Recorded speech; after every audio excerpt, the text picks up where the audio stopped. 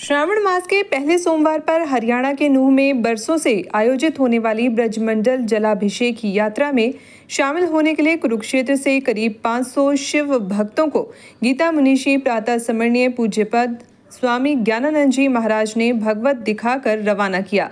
इस जलाभिषेक यात्रा में कुरुक्षेत्र ज़िले से जाने वाले शिव भक्तों का समस्त संत समाज की तरफ़ से भी आशीर्वाद देकर स्वागत किया। इस मौके पर कुरुक्षेत्र ज़िले से आठ बसों में शिव भक्त ब्रजमंडल यात्रा के लिए रवाना हुए। शिव भक्तों को रवाना करने के उपरांत मीडिया से बातचीत में स्वामी ज्ञानानंद जी महाराज ने कहा कि शिव भक्त आपसी भाईचारा और सद्भाव बढ़ाकर शांतिपूर्ण अपनी यात्रा पूरी करके आए, ऐसी मैं कामना करता हूँ। वहीं इस मौके पर शिव भक्तों ने भी जलाभिषेक यात्रा में जाने पर खुशी व्यक्त की। साथ ही कहा कि शांति, भाईचारा और प्रेम व सद्भाव के साथ हम भोले शिव को जलाभिषेक करके यह यात्रा पूरी करके वापस आएँगे। श्रावण मास विधिवत प्रारंभ हुआ है। कल ही व्यास पूर्णिमा का पर्व था और संयोग से इस बार श्रावण मास का प्रारंभ ही सोमवार से हुआ है। और श्रावण मास का सोमवार जो होता है, भगवान शिव पे जलाभिषेक के लिए एक विशेष हमारी आस्था का मान्य दिवस होता है।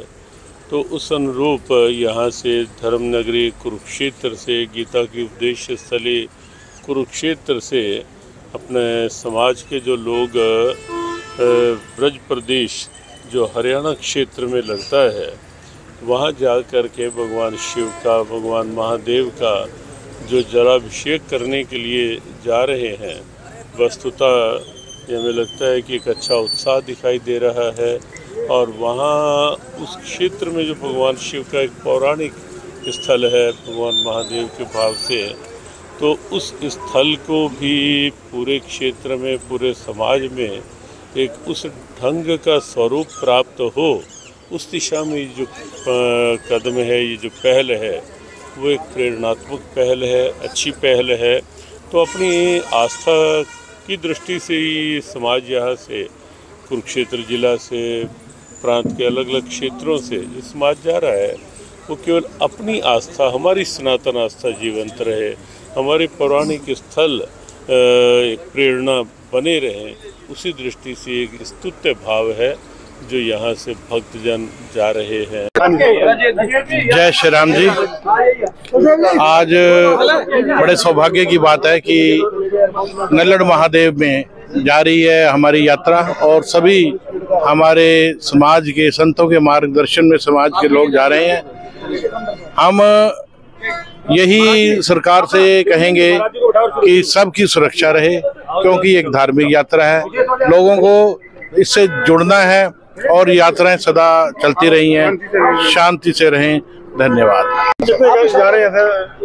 ऐसे कुरुक्षेत्र से इस बार अपना जो ब्रिज मंडल यात्रा है इसके लिए यहाँ से सात बसें जा रही हैं। सात बसों में एक बस में पचपन की कैपेसिटी है और वो साठ के आसपास एक बस में जा रहे हैं। तो आप ये मान के चलो कि सात छिक बयालीस चार सौ बीस लोग यहाँ से चार सौ तीस की संख्या है वैसे चार सौ तीस लोग की रजिस्ट्रेशन हुआ था चार सौ तीस लोग यहाँ से बड़े उत्साह के साथ नल्लड़ महादेव मंदिर जा रहे हैं। सरकार गाइडलाइंस को पूरा फॉलो किया सरकार की गाइडेंस में पूरी तरह फॉलो किया है सरकार ने पूरा साथ दिया है और सरकार की वजह से ये यात्रा सब सफलतापूर्वक जा रही है। क्या अपील रहेगी आपके हैं? हमारी भोले भक्तों से ये अपील रहेगी कि सभी शांतिपूर्व पूर्व से जाए अपना जल चढ़ाए गंगा जल पवित्र आया हुआ है उसे हम वहाँ पे पवित्रता से चढ़ाए और अपनी पूजा यात्रा पे ध्यान रखें। जा रहे यात्रा में क्या कहना चाहेंगे?